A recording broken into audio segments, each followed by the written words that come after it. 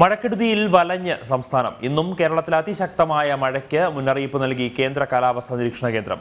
പന്ത്രണ്ട് ജില്ലകൾക്ക് ഇന്ന് ഓറഞ്ച് ജാഗ്രതാ നിർദ്ദേശം നൽകി. മത്സ്യബന്ധനത്തിന് വിലക്കും തുടരുകയാണ്. തുടർച്ചയായി സംസ്ഥാനം കാലവർഷക്കെടുതിയിൽ വലയുകയാണ്. പത്തനംതിട്ട മുതൽ കാസർഗോഡ് വരെയുള്ള പന്ത്രണ്ട് ജില്ലകൾക്ക് ഇന്ന് അതിശക്തമായ മഴയ്ക്കുള്ള മുന്നറിയിപ്പാണ് കേന്ദ്ര കാലാവസ്ഥാ നിരീക്ഷണ കേന്ദ്രം നൽകിയിട്ടുള്ളത്. കൊല്ലം ജില്ലയ്ക്ക് യെല്ലോ അലർട്ട് മുന്നറിയിപ്പും നിലവിൽ കേന്ദ്ര കാലാവസ്ഥാ നിരീക്ഷണ കേന്ദ്രം നൽകി. നാളെയും സംസ്ഥാനത്ത് മഴ രൂക്ഷമാകുമെന്നാണ് മുന്നറിയിപ്പിൽ വ്യക്തമാക്കുന്നത്. മധ്യ കേരളത്തിലെയും വടക്കൻ കേരളത്തിലെയും ജില്ലകളിൽ മഴക്കെടുതികൾ രൂക്ഷമാവുകയാണ്.